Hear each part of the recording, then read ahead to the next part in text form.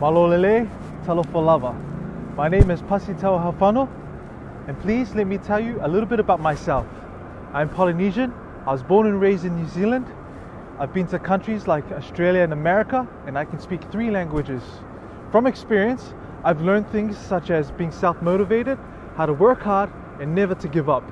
All of which I believe helps achieve success, but more important, how to share it.